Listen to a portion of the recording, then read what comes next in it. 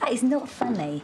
It's Italian. It's not. Laurel, we just called to take Dad for a drink. Oh, let me guess. He's not gone AWOL again. It's the second time I've tried this week. He is becoming impossible to pin down.